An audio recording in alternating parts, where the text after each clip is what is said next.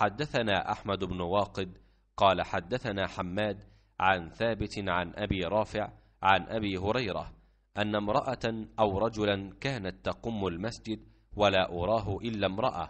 فذكر حديث النبي صلى الله عليه وسلم أنه صلى على قبره